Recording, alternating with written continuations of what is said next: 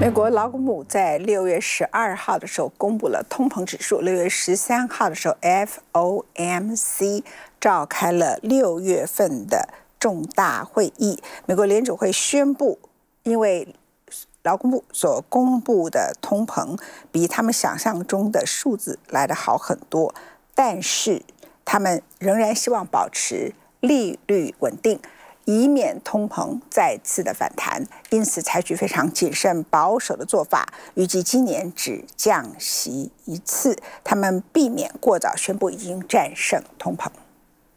Inflation has eased substantially from a peak of 7% to 2.7%, but is still too high.